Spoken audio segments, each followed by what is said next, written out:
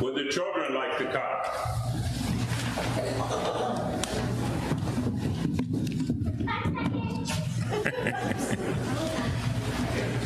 Actually, I think the choir beat you all up here.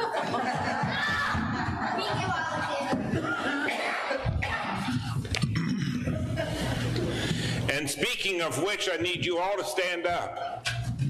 Choir and the children. Now, do you have wings? No! No, how comes you don't have wings? Only I wish I did. Flying squirrels. Like flying squirrels and stuff. Okay. Are you sure you don't have wings? Does God have wings? No. He does. Maybe he can fly. We don't know. That's the issue. So we're going to pretend like we have wings today, and we're going to think we're going to do the chicken dance. Okay. Now I don't have. Okay. this was a good idea on paper. Oh So I get down here so I can see you a little better. I don't have any music. Are you ready?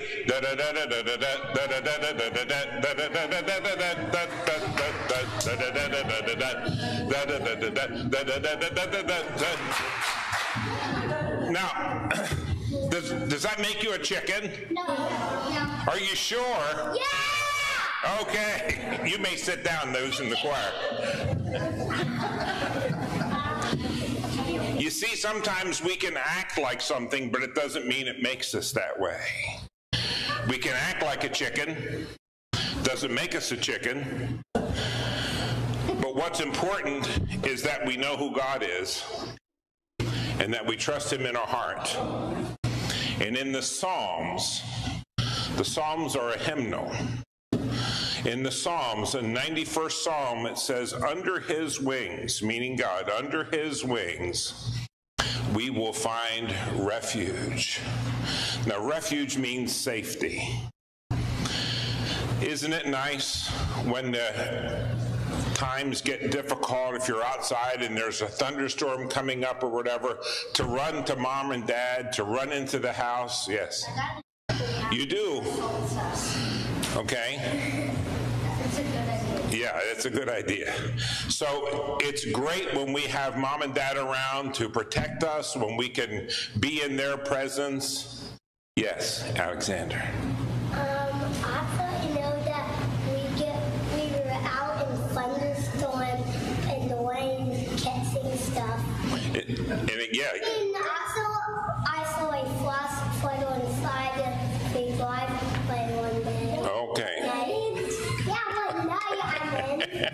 Okay. Well, whenever we're in kinds of trouble like that and we have storms around us and all of those kinds of things, it's really nice to have somebody there to protect us. And even if nobody is around, God is there with us and we have our safety in Him. Let's pray together. Father, I thank you for the children and for the choir who uh, had a little fun this morning and danced the chicken dance. And we don't have wings, but you do. And under your wings, we safely abide forever. Bless the children this day. In Jesus we pray. Amen. It's time for them to go back. Back. Thank you, choir. If you have your Bible, I'd invite you to turn as we read from Psalm 91.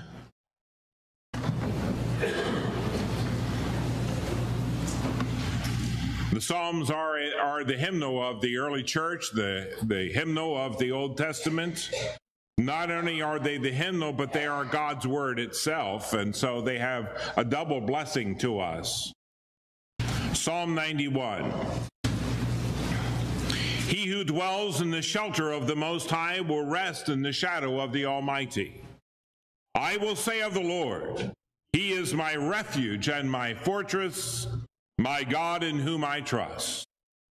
Surely He will save you from the fowler's snare and from deadly pestilence. He will cover you with His feathers, and under His wings you will find refuge. His faithfulness will be your shield and rampart. You will not fear the terror of night, nor the arrow that flies by day, nor the pestilence that stalks in the darkness, nor the plague that destroys at midday. A thousand may fall at your side, ten thousand at your right hand, but it will not come near you. You will only observe with your eyes and see the punishment of the wicked.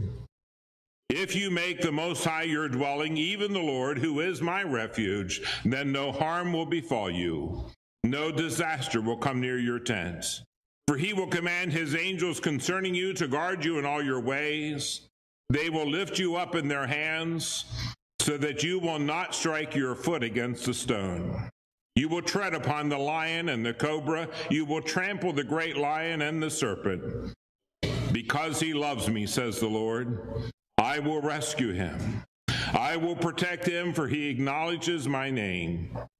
He will call upon me, and I will answer him. I will be with him in trouble. I will deliver him and honor him. With long life will I satisfy him and show him my salvation.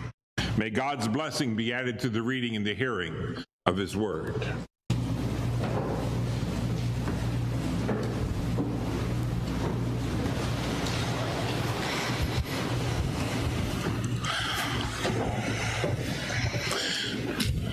Had a little fun with the children in the choir as we sang the chicken dance or danced the chicken dance. I kind of tried to bring that lyric there.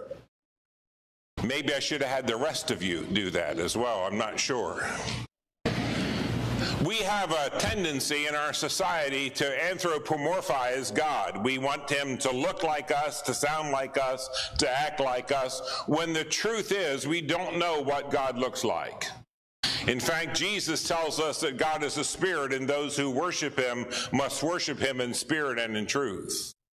But the beauty of this passage of Scripture, this psalm, strengthens us in our faith. How great and wonderful it is to be under God's care to be loved by Him, to be cared for by Him, to be watched over by Him. I had an ideal life as a child in many ways. You went out the front door of our house and you turned right and you were heading into town. You came out the front door of our house and turned left and you were soon out of town. We were the next to the last house in town. You went out the back door and there was the creek. ideal life. That's what I said. When I went down to the farm as a eight year old, a farm that had just sold. I didn't realize who had bought it. That, that meant nothing to me. I did not know who Amish people were or what that meant. I was interested in selling a subscription to a newspaper. So I went down there when the new family moved in and I knocked on their door and asked them if they were interested in buying a newspaper, paper, which they were not. But I struck up a conversation with this young farmer and his wife, and he says to me, Are you interested in a job? And I said, Doing what? He said, I need help milking. Sure. I was interested in a job. Well, let me tell you, I'm thinking we're sticking those milkers on those. Uh, that's not how that worked. It was by this. And at first, he had 12 cows that we were milking. I would milk one till he milked 11. I got a little better over, over time, and I could finally get up where I was doing five to his seven. I never could quite match him. But I learned so much there in my little time that I had on the farm. Outside the house, not far away from the house, was a building that was made into a small chicken house. It had a fenced in yard where the chickens could come out and, and be safe in the daytime. There was a little ramp that went up to an open door that they could go inside and, and be there. And I remember very clearly one day in the middle of the summer when the wind suddenly blew up a gust you know how when you see the leaves turn inside out, you're seeing the underside of the leaf instead of the top side of the leaf? And all these chickens and some small, we always called them peepees, were out there, and Mama spread her wings. And those little chicks ran right underneath. They knew that they were safe there. In fact, a few years ago, when one of the when the volcano out at Mount St. Helens blew its top, and I tried to find this picture, but I couldn't. There was uh, after the aftermath of that, they went up and they found some kind of a fowl. It wasn't a chicken, but some kind of a fowl who had spread her wings for her chicks to come underneath. She died. When they moved her body, all of her chicks were still alive under his wings. How precious it is for you and I when we have trouble or difficulty in our life to know that we can go to the Lord and he spreads his proverbial wings over us, and he shields us, and he protects us, and he keeps all evil away from us because of his great love for us. What a beautiful picture that is to run underneath the ever spread wings of God and to find refuge there. How delightful it is to know when we're in time of difficulty. You know, I was okay this week when I went to have that uh, nuclear stress test done. I wasn't sure whether I'd glow in the dark when I was done. I, it didn't happen. But they give you this IV and they are, they're doing an EKG and all that sort of thing. And they tell you your heart's going to run fast and you'll get short of breath. I can do walk the steps and do that. I mean, you know, that's so all that was done, and then, you know, finally I'm allowed to eat something. That's the hard part of this test. You're not allowed to eat or drink any. Well, you can drink water, but coffee? No coffee? So then they send you off and you can do that. And then they came and told me, now we're going to take you to the tube and we're going to run you through the tube and we're going to take some pictures. And I don't know what the tube looks like. I've been in those tubes before. And when you're my size kind of guy, you pretty much fill up the tube. So I'm thinking, I hope I can make it through this tube thing. Well, thankfully, the tube was only about as wide as an inner tube. And so, you know, 90% of you are sticking out, and I felt a little better about that. But that was easy. They said, just relax, put your hands above your head, so on. They woke me up 10 minutes later to tell me that I was done. I figured I might as well take advantage of this. But you know, when I'm heading back the hallway with this nurse, I'm praying the whole time, Lord, I don't know whether I can do this tube. Lord, I'm not sure whether I, because I'm thinking it's one of them, you know, seven foot long jobs that you have to climb in and you're, you know, the, the ceiling of it's about an inch away from your nose and all of those kind of things. The Lord is good. I didn't have to do all of that this time. God is always protecting us when we ask for it and then when we don't ask for it. He is always watching over us and caring for us. And the psalmist here uses some references that I think I need to explain a little bit for you. He talks about he will save you from the fowler's snare. The way that they captured birds in the day was by using a snare. That's what a fowler is, someone who's a bird hunter. They didn't have shotguns like we would use today they used a snare, a little string on the ground with a little uh, loop in it. And when the bird went, came for the food that was there, they could capture the bird in that fowler's snare. He saves us from the traps of life. And I want to tell you, I, have never seen a fowler's snare, but I've seen a lot of traps in life, and so have you. You've seen it every time you've turned on your television, or especially when you turn on the internet. There are lots of traps there. I don't do very much on Facebook except occasionally wish people a happy birthday, that sort of thing. But you know, you can just occupy time. You begin looking at something there and you say, Happy birthday, you know, may the Lord bless you this day. And you do that two or three or four times or whatever, and you page down through to see what's happening in the life of your friends or family or whatever. Next thing you know, a couple hours have gone by. It's a trap. There are lots of traps for us in our society, and we get caught up in them all the time. He will save you from the fowler's snare. Who is the fowler for us? Satan, right? Satan is always wanting to catch us. He's always wanting to distract us. He wants us to take our gaze off of Jesus and put our gaze on something else. And anything else who's not Jesus is wrong.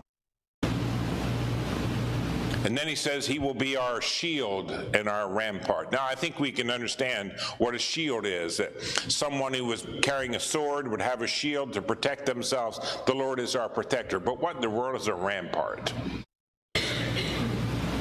Up on top of walled cities, they would have a pathway that would go the whole way around up on top of the wall. And on, at the one edge, then there was a a, a, bit of a wall that was out there, and this whole area was called the rampart. In other words, he's always watching over us. He will be our shield and our rampart. He's watching out for us.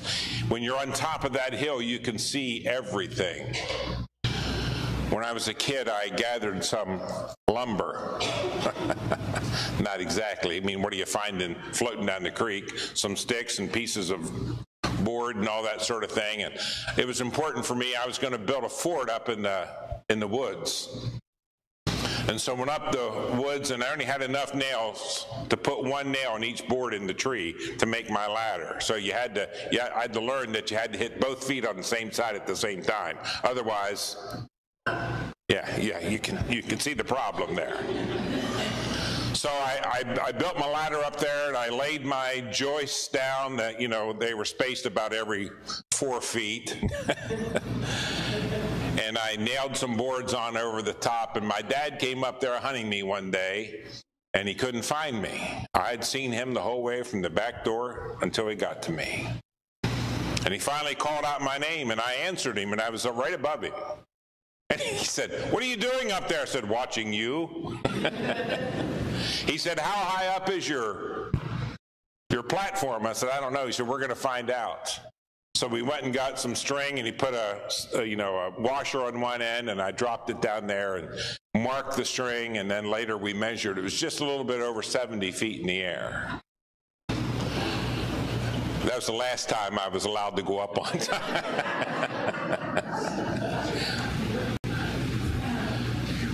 Watching over.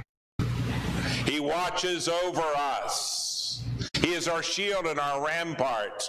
And then at towards the end of this psalm, and many of you love this, in verse 11, he says, He will appoint his angels to watch over you, to guard you in all of your ways. It's the concept of the guardian angel. To watch over us because Satan never lets us alone, does he? I will occasionally get ready to leave the office and I'll and I'll look at Linda and I'll say, I'm going to do something the devil never did. I'm going to leave you.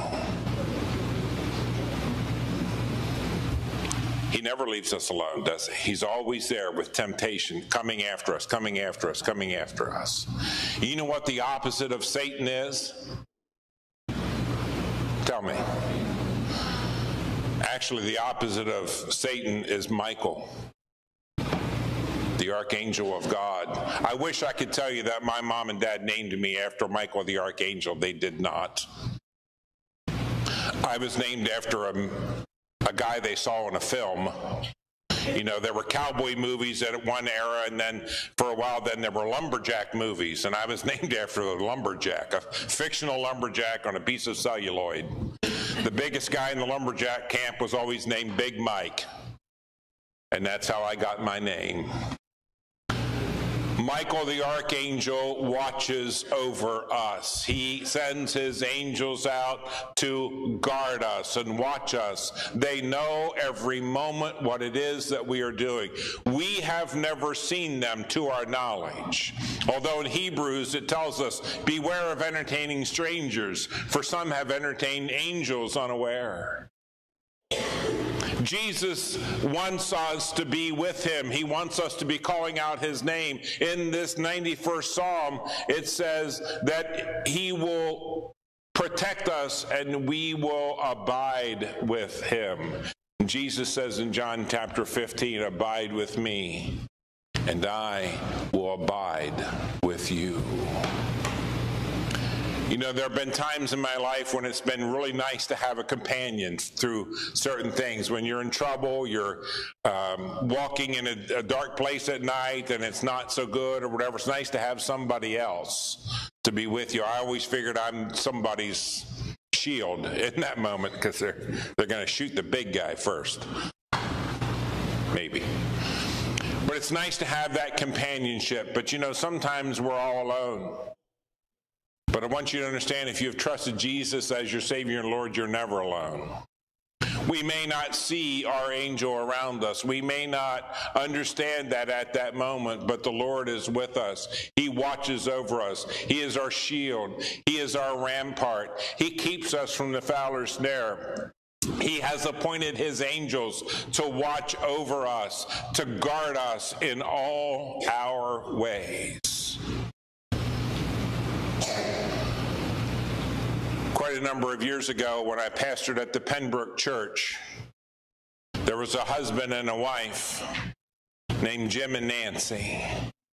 And we were getting ready for a big Christmas program, and Nancy had a solo in the in the Christmas program, and it came the night of dress rehearsal, and and Nancy wasn't there, and everyone knew that was peculiar. She didn't miss those kinds of things, and so after it was over, I called out to their home and to find out that Nancy had had a heart attack that afternoon and was now in the hospital.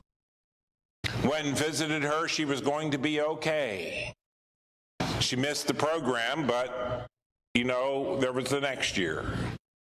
So, in the process of this, about 10 days before Christmas, you know, she's recovering and comes home and all of those kinds of things. And two or three days after Christmas, she had to go back and see the cardiologist. Well, her husband drove her. She was not yet allowed to drive. Now, listen to this. When they got to the cardiologist's office, the cardiologist looked at her husband and said, When was the last time you had a stress test? He said, oh, I've never had one. He said, You have a you have 30 minutes? We'll hook you up and put you on the treadmill right now. They hooked him up and put him on the treadmill, and they took him right off the treadmill via ambulance to the hospital to do quintuple bypass the next day. The doctor had told him, had you not had that stress test and continued on with life, you'd have had the Widowmaker's heart attack. Five blockages. So I went to see him at the hospital before they took him into surgery, like I like to do, and, and I prayed with him. And, you know, he come out of that surgery, you're in intensive care for a little while, and he has, uh, you know, the, the ventilation tube in, and, and uh, you know, I, I'm praying with him, holding his hand. And, and finally, when a couple days later, when they take the vent out, he says to me, Pastor Mike, thanks for being with me during the surgery. And I said, I was with your family. He said, No, you were sitting right there beside me in the operating room holding my hand. He said, I saw you.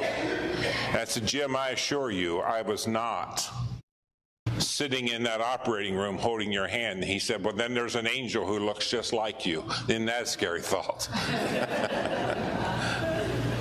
and I said, Jim, it wasn't me, it was the Lord who was watching over you.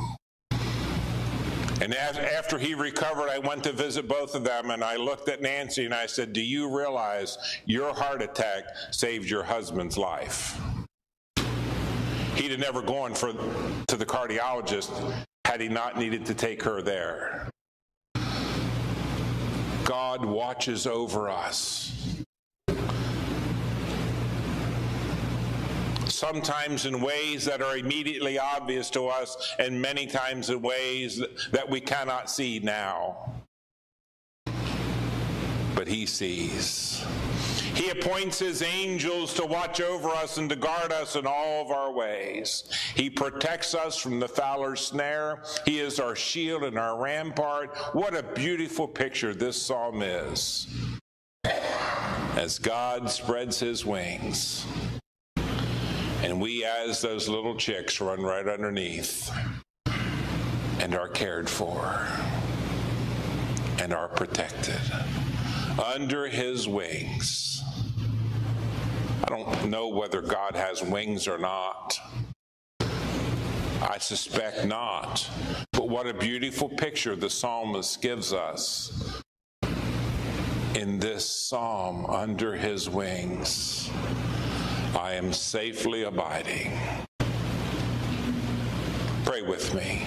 Heavenly Father, we're thankful this day that you protect us and watch over us in ways that we know and certainly in ways that we don't know. We're grateful that you have appointed an angel to watch over us, and he or watches over us all the time. Oh Lord, we are so grateful that you are our shield and our rampart. You are our protector. You are the one who appoints the guardian angel.